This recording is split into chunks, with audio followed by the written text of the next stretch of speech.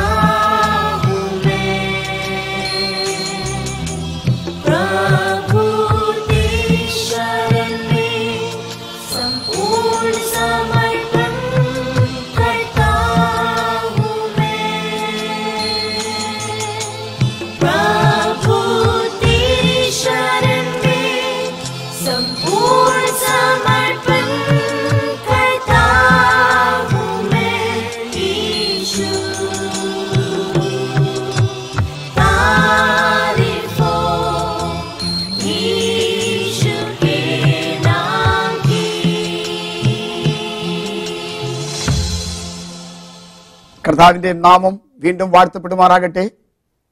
ഒരു പ്രാവശ്യം കൂടി നിങ്ങളോട് ദൈവവചനം പങ്കുവയ്ക്കുവാൻ എനിക്ക് ലഭിച്ച നല്ല സന്ദർഭത്തിനായി ഞാൻ ദൈവത്തെ വാഴ്ത്തുന്നു. ഇതിന് മുഖാന്തരമായ ഇന്നത്തെ സ്പോൺസറെയും ഓർത്ത് ഞാൻ ദൈവത്തിന് മഹത്വം കരയേറ്റുന്നു. കഴിഞ്ഞ അഞ്ച് എപ്പിസോഡുകളിലായി നാം ചിന്തിച്ചോട്ടുന്നത് ഒരേ ഭാഗത്ത് നിന്നാണ്.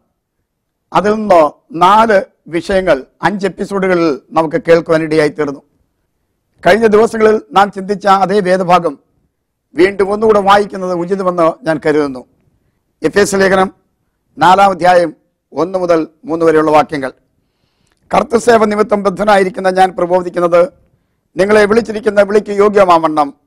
പൂർണ വിനയത്തോടും സൗമ്യതയോടും ദീർഘക്ഷമയോടും കൂടെ നടക്കുകയും സ്നേഹത്തിൽ അന്യോന്യം പൊറുക്കുകയും ആത്മാവിന്റെ ഐക്യത സമാധാന ബന്ധത്തിൽ കാപ്പാൻ ശ്രമിക്കുകയും ചെയ്യുവിൻ ദൈവത്തിന് മഹത്വം ഉണ്ടാകട്ടെ ഇതിൽ നിന്ന് യോഗ്യമായ നടപ്പിനാവശ്യമായ അഞ്ച് ഘടങ്ങളിൽ നാലെണ്ണത്തെക്കുറിച്ച് കഴിഞ്ഞ എപ്പിസോഡുകൾ നമുക്ക് ചിന്തിക്കുവാൻ ഇടയായി തീർന്നു.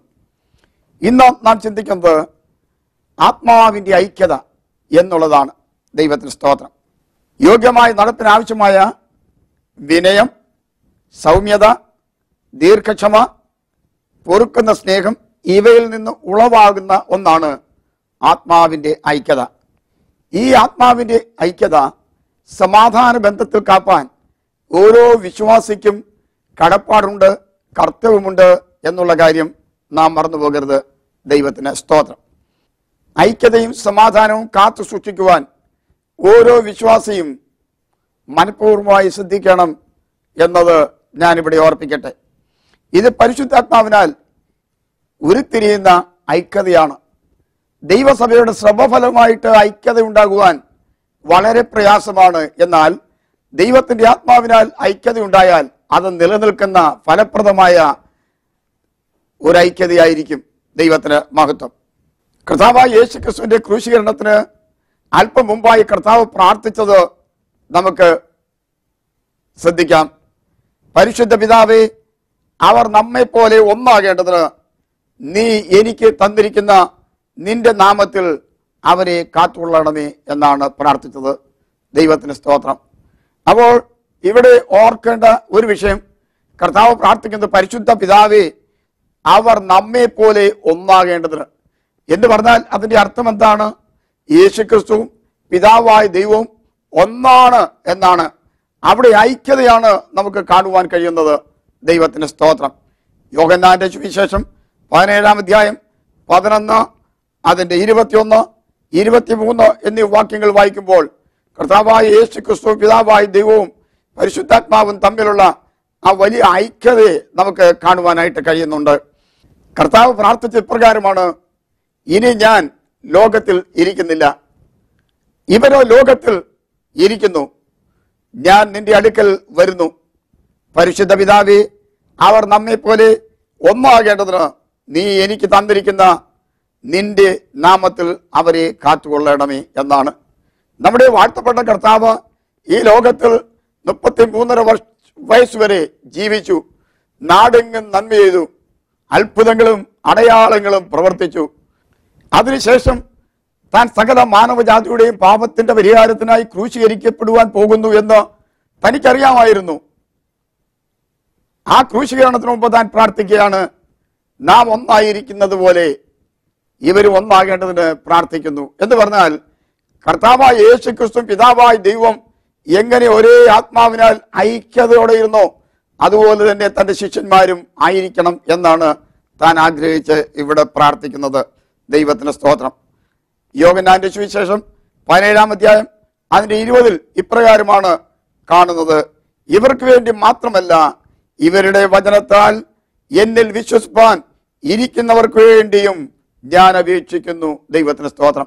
എന്ന് പറഞ്ഞാൽ അതിന്റെ അർത്ഥം എന്താണ്? കർത്താവ് ലോകത്തിൽ നിന്ന് മാറ്റപ്പെടുവാൻ പോകുന്നു.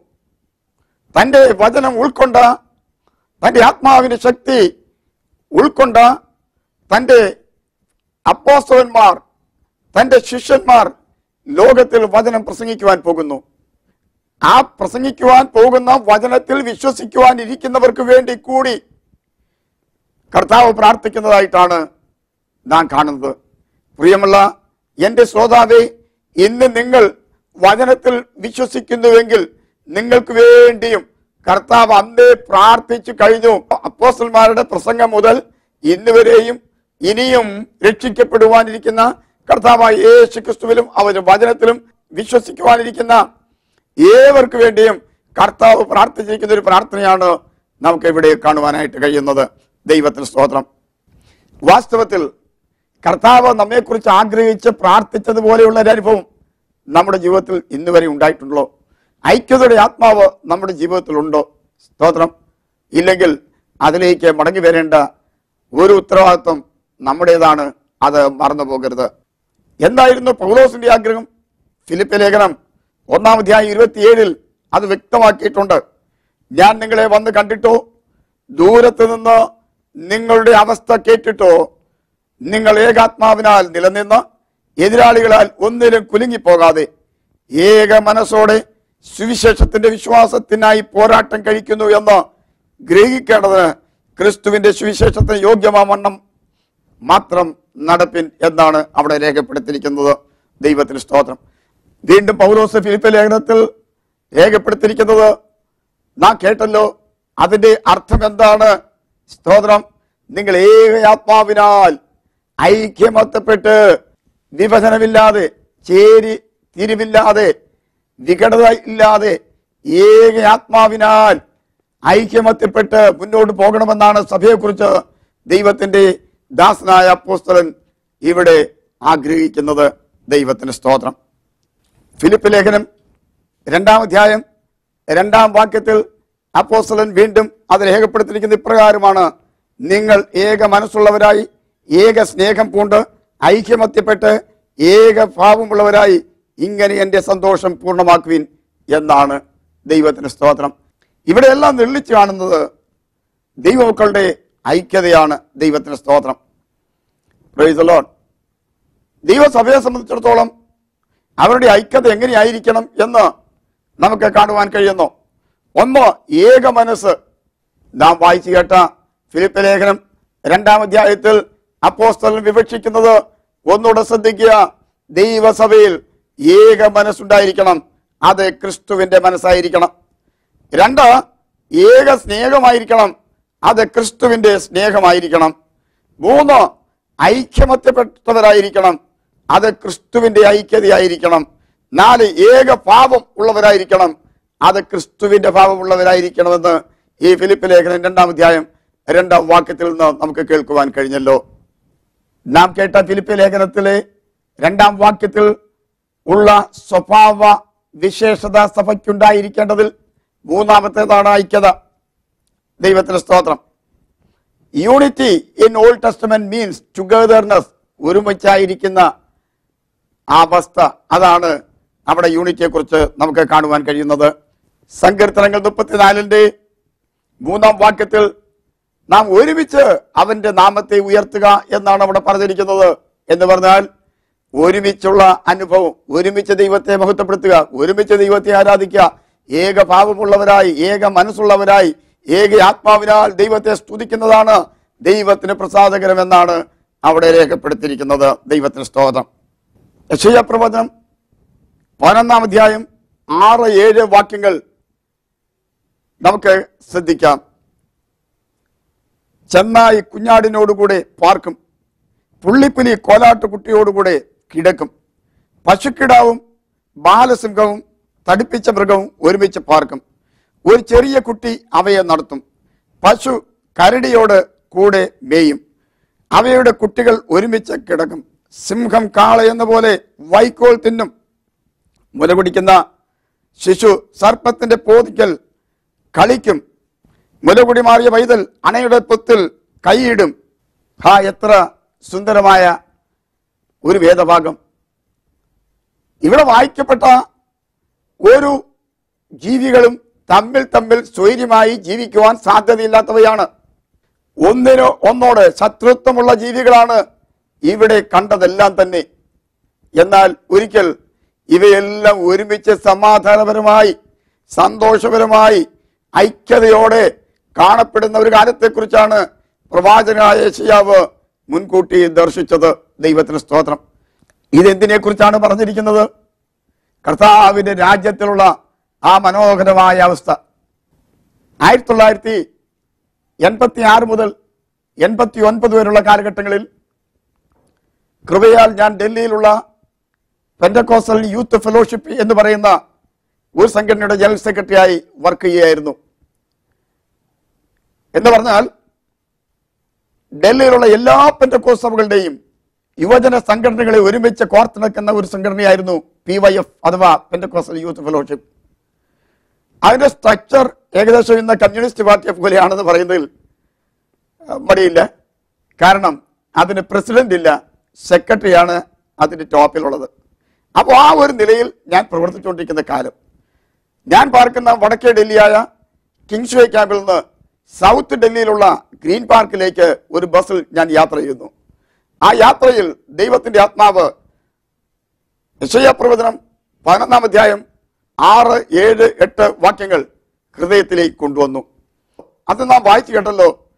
പുള്ളിപ്പുലിയും കരടിയും ചെന്നായും അണലിയും കൊച്ചു കുഞ്ഞുമൊക്കെ ഒരുമിച്ച് പാർക്കുന്ന സമാധാനപരമായ അന്തരീക്ഷത്തിൽ പാർക്കുന്ന ഒരു കാലഘട്ടം വരുന്നു എന്നുള്ളതാണ് അത് വിളിച്ചറിയിച്ചത്.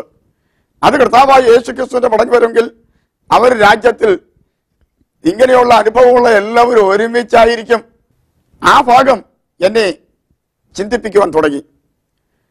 ദൈവരാജ്യത്തിന്റെ അനുഭവം അതാണെങ്കിൽ ഡൽഹിയിലുള്ള ഏകദേശം മുന്നൂറിലധികം സഭകൾ അന്നുണ്ട്.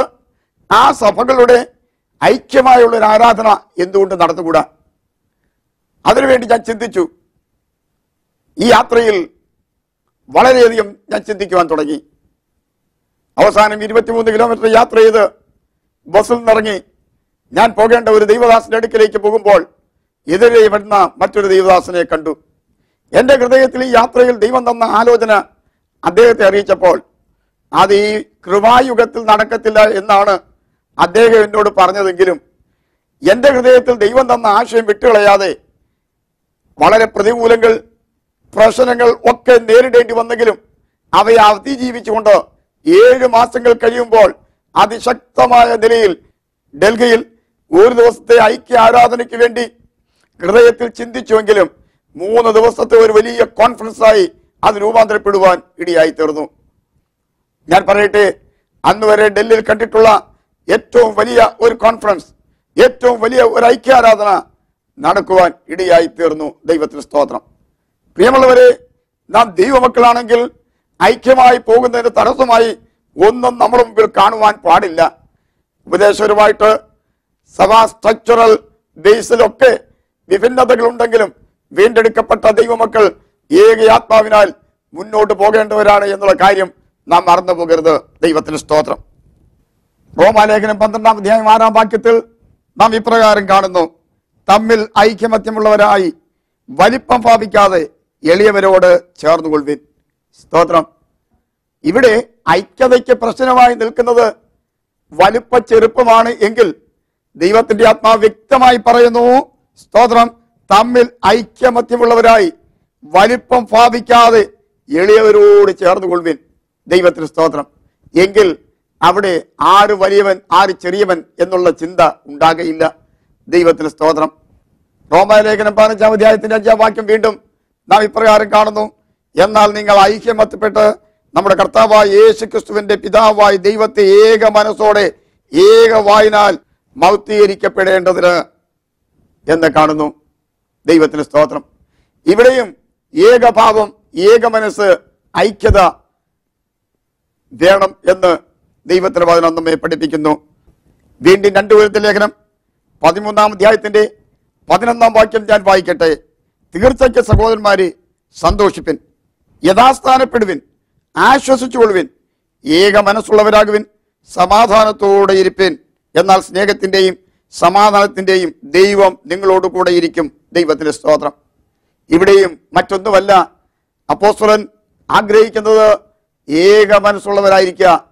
ഐക്യമത്തപ്പെടുക എന്നുള്ളതാണ് ദൈവത്തിന്റെ സ്തോത്രം. അപ്പൊ യൂണിറ്റിക്ക് ഐക്യതയ്ക്ക് എത്രമാത്രം പ്രാധാന്യം ദൈവവചനത്തിൽ നൽകിയിരിക്കുന്നു എന്നാണ് ഞാൻ പറഞ്ഞു വന്നത് ദൈവത്തിന്റെ സ്തോത്രം. യൂണിറ്റിയെ കുറിച്ച് നാം പഠിക്കുമ്പോൾ സൃഷ്ടിയിൽ ഐക്യത. ഉൽപ്പത്തി പുസ്തകം ഒന്നാം അധ്യായത്തിൽ ആ പ്രാരംഭ വാക്യങ്ങളിൽ നാം വായിക്കുമ്പോൾ നമുക്കത് മനസ്സിലാക്കുവാൻ കഴിയുന്നു. സൃഷ്ടിയിൽ ഐക്യത. രണ്ട് തൃത്വത്തിൽ ഐക്യത. നിങ്ങൾ എവിടെയെങ്കിലും തൃത്വത്തെക്കുറിച്ച് പഠിക്കുന്ന ഭാഗങ്ങളിൽ പിതാവും പുത്രനും പരിശുദ്ധാത്മാവും തമ്മിൽ വിഭിന്ന അഭിപ്രായങ്ങളായി നിൽക്കുന്നത് എവിടെയെങ്കിലും വചനത്തിൽ കണ്ടിട്ടുണ്ടോ? ഒരിക്കലും കാണുകയില്ല. തൃത്വത്തിൽ ഐക്യത വീണ്ടും സ്വർഗത്തിൽ ഐക്യത സ്തോത്രം സഭയിൽ ഐക്യത കുടുംബത്തിൽ ഐക്യത ഇതെല്ലാം ആവശ്യമായിരിക്കുന്നു. ദൈവത്തിന് മഹത്വമുണ്ടാകട്ടെ. ഐക്യത്തിനായി ലോകം നിരന്തരമായി പരിശ്രമിച്ചു വരികയാണ്. എന്നാൽ എല്ലാ നിയമങ്ങളും ചർച്ചകളും ഉടമ്പടികളും ഐക്യതയുടെയും സമാധാനത്തിന്റെയും കാര്യത്തിൽ പരാജയപ്പെട്ടുകൊണ്ടിരിക്കുന്ന കാഴ്ചയാണ് നമുക്ക് കാണുവാൻ കഴിയുന്നത്. ഒരിടത്ത് സമാധാനത്തിനുള്ള ചർച്ചകൾ നടക്കുമ്പോൾ മറുവശത്ത് ഭിന്നതയും യുദ്ധവും യുദ്ധശ്രുതികളും നാം കേട്ടുകൊണ്ടിരിക്കുകയാണ്. ഐക്യത്തിന്റെയും സമാധാനത്തിന്റെയും പ്രതീകങ്ങളായി നിലനിൽക്കേണ്ട ദൈവസഭയിൽ പോലും അനൈക്യത സൃഷ്ടിച്ചുകൊണ്ട് അസമാധാനം വിതയ്ക്കുവാൻ ശത്രു കിണഞ്ഞു പരിശ്രമിക്കുന്ന ഒരു കാലഘട്ടത്തിലാണ് നാം വന്നെത്തി നിൽക്കുന്നത്. ദൈവത്തിന്റെ വചനത്തിൽ പറയുന്ന ദുഷ്ടന് സമാധാനം ഇല്ല എന്നാണ് യക്ഷയ പ്രവചനം നാൽപ്പത്തി എട്ടാം അധ്യായം ഇരുപത്തിരണ്ടാം വാക്യത്തിൽ ഇപ്രകാരം പറഞ്ഞിരിക്കുന്നു ദുഷ്ടന്മാർക്ക് സമാധാനമില്ല എന്ന് യഹോവ അരളി ചെയ്യുന്നു. അത് ദുഷ്ടന്മാർക്ക് സമാധാനം ഒരിക്കലും ഉണ്ടാകുകയില്ല. നീതിമാനോ സമാധാനം ആഗ്രഹിക്കുന്നവർ നീതിമാനോ സമാധാനം കാക്ഷിക്കുന്നവർ നീതിമാനോ സമാധാനം ഉണ്ടാക്കുന്നവർ അവരാണ് ഭാഗ്യവാന്മാർ എന്നാണ് മത്തായി സുവിശേഷത്തിൽ കർത്താവ് തന്നെ അരളി ചെയ്തത്. ദൈവത്തിന് സ്തോത്രം. ഫിലിപ്പ് ലേഖനം രണ്ടിന്റെ ഒന്ന് രണ്ട് വാക്യങ്ങളിൽ ഇപ്രകാരം രേഖപ്പെടുത്തിയിരിക്കുന്നു. ക്രിസ്തുവിൽ വല്ല പ്രബോധനമുണ്ടെങ്കിൽ സ്നേഹത്തിന്റെ വല്ല ആശ്വാസവും ഉണ്ടെങ്കിൽ ആത്മാവിന്റെ വല്ല കൂട്ടായ്മയും ഉണ്ടെങ്കിൽ വല്ല ആർദ്രതയും മനസ്സലിവും ഉണ്ടെങ്കിൽ നിങ്ങൾ ഏക മനസ്സുള്ളവരായി ഏക സ്നേഹം കൊണ്ട് ഐക്യമത്തപ്പെട്ട് ഏക ഭാവമുള്ളവരായി ഇങ്ങനെ എന്റെ സന്തോഷം പൂർണമാക്കുവിൻ. അപ്പോൾ അപ്പോസ്തലന്റെ സന്തോഷം പൂർണമാക്കണമെങ്കിൽ ഈ സ്വഭാവവിശേഷങ്ങൾ ഒരു ദൈവവിതലിൽ ഉണ്ടാകേണ്ടത് ആവശ്യമാണ്. ദൈവത്തിന്റെ സ്തോത്രം. താഴ്മ സൗമ്യതയെ ഉളവാക്കുന്നു. സൗമ്യതയിൽ നിന്ന് ദീർഘക്ഷമ സംജാതമാകുന്നു. ദീർഘക്ഷമ പൊറുക്കുന്ന സ്നേഹം ഉളവാക്കുന്നു. ഈ നാല് സ്വഭാവത്തിന്റെയും അനന്തരഫലമാണ് ആത്മാവിന്റെ ഐക്യത. ദൈവത്തിന് സ്തോത്രം. ഈ വിധത്തിലുള്ള ഐക്യത ദൈവസഭയിൽ ഉണ്ടായാൽ ദൈവസഭയ്ക്ക് നേരെ എതിർപ്പെട്ടു വരുന്ന ഏത് വെല്ലുവിളികളെയും അതിജീവിച്ച് സമാധാനപരമായി സന്തോഷപരമായി ദൈവസഭ മുന്നേറുവാൻ കഴിയും എന്നതിന് യാതൊരു തർക്കവുമില്ല. ഒന്നാം നൂറ്റാണ്ടിലെ സഭയിൽ ഉണ്ടായിരുന്ന ഐക്യതയെക്കുറിച്ച് നാം പഠിക്കുമ്പോൾ എല്ലാവരും ഒരു സ്ഥലത്ത് കൂടിയിരുന്നു. വിശ്വസിച്ചവർ ഒരുമിച്ചിരുന്നു. സ്തോത്രം. വിശ്വസിച്ചവരുടെ കൂട്ടം ഒന്നായിരുന്നു. ഏക മനസ്സോടെ അവർ കൂടി വന്നു എന്ന് നമുക്ക് കാണുവാനായിട്ട് കഴിയുന്നുണ്ട്. ദൈവത്തിന് സ്തോത്രം. അതുകൊണ്ട് യോഗ്യമായ നടപ്പിന് ആവശ്യമായ അഞ്ചാമത്തെ ഘടകം ഐക്യതയാണ്. കുടുംബത്തിൽ ദൈവസഭയിൽ നമ്മുടെ സമൂഹത്തിൽ നമ്മുടെ രാഷ്ട്രത്തിൽ ഒക്കെ തന്നെ ഐക്യത സംജാതമാകുവാൻ ഇടയാകേണ്ടതിനായിട്ട് നമുക്ക് ആഗ്രഹിക്കാം നമുക്ക് പ്രാർത്ഥിക്കാം അതിനുവേണ്ടി നമുക്ക് പ്രവർത്തിക്കാം. പ്രിയമുള്ളവരെ ഐക്യത നമ്മുടെ ഭവനത്തിൽ നമ്മുടെ സമൂഹത്തിൽ നമ്മുടെ ദേശത്തിൽ നമ്മുടെ സ്റ്റേറ്റിൽ നമ്മുടെ രാഷ്ട്രത്തിൽ ഉണ്ടാകണമെങ്കിൽ ഐക്യതയ്ക്ക് വേണ്ടിയുള്ള ശ്രമം നമ്മുടെ ഭാഗത്തുനിന്ന് ഉണ്ടാകണം ഒപ്പം നമ്മുടെ കുടുംബത്തെ ദേശത്തെ രാഷ്ട്രത്തെ ഒക്കെ ദൈവകരങ്ങളിൽ ഏൽപ്പിച്ച് പ്രാർത്ഥിക്കണം. ഐക്യമായി നിന്നാൽ ജയം സുനിശ്ചിതമാണ്. അങ്ങനെ ഒരു ജയം പ്രാപിപ്പാൻ ദൈവാത്മാവ് നമ്മെ സഹായിക്കട്ടെ. നമുക്ക് കണ്ണടയ്ക്കാം നമുക്ക് പ്രാർത്ഥിക്കാം. ഞങ്ങളുടെ സ്വർഗപിതാവാ ദൈവമേ യോഗ്യമായ നടപ്പിന് ആവശ്യമാകുന്ന അഞ്ചാമത്തെ സ്വഭാവമായിരിക്കുന്ന ഐക്യത ഞങ്ങളുടെ ജീവിതത്തിൽ ഇല്ലാതെ പോയ അനുഭവങ്ങൾ ഞങ്ങൾ ഓർത്ത് ദുഃഖിക്കുകയും ഞങ്ങളെ ഒന്നുകൂടെ സമ്പൂർണമായി ദൈവരങ്ങൾക്ക് ഏൽപ്പിക്കുകയും ചെയ്യുന്നു. കുടുംബത്തിലും സമൂഹത്തിലും സഭയിലും ദേശത്തും ഐക്യതയുണ്ടാകുവാൻ എന്തെല്ലാം ഞങ്ങളാൽ ചെയ്യണമോ അതെല്ലാം ചെയ്തുകൊണ്ട് ഐക്യമായി മുന്നേറുവാൻ ശത്രുവിന്റെ വെല്ലുവിളികളെ നേരിട്ട് ജയിക്കുവാൻ ഇടയാകേണ്ടതിനായി പ്രാർത്ഥിക്കുന്നു. ശത്രു ദൈവസഭയെ പീഡിപ്പിച്ചുകൊണ്ടിരിക്കുന്ന ഈ കാലഘട്ടത്തിൽ ദൈവജനം ശിഥിലപ്പെട്ടു പോകാതെ ഐക്യമായി നിന്ന് അതിനെ നേരിട്ട് ജയിപ്പാൻ ദൈവം കൃപ ചെയ്യേണ്ടതിനായി അടിയനെയും അടിയന്റെ പ്രിയപ്പെട്ടവരെയും വചനം കേട്ട എല്ലാവരെയും ഏൽപ്പിക്കുന്നു. ദൈവം അങ്ങനെ ചെയ്യുവാൻ പോകുന്നുകൊണ്ട് സ്തോത്രം. സകല മാനവ മഹത്വം ഞങ്ങൾ അങ്ങേക്ക് അർപ്പിക്കുന്നു. ക്രിസ്തു യേശുവൻ തന്നെയുള്ള നാമത്തിൽ തന്നെ ആമേൻ. ഇന്നത്തെ ഈ പ്രഭാഷണവും നിങ്ങൾക്ക് അനുഗ്രഹമായി എന്ന് ഞാൻ കരുതുന്നു. ഈ പ്രോഗ്രാമിനെ കുറിച്ചുള്ള നിങ്ങളുടെ നിർദ്ദേശങ്ങളും അഭിപ്രായങ്ങളും ഞങ്ങളെ അറിയിക്കുക. നിങ്ങളുടെ പ്രാർത്ഥനാ വിഷയങ്ങൾ എന്തായിരുന്നാലും ഞങ്ങളെ അറിയിക്കും. ഞങ്ങൾ നിങ്ങൾക്ക് വേണ്ടി പ്രാർത്ഥിക്കാം. ദൈവം മറുപടി നൽകും.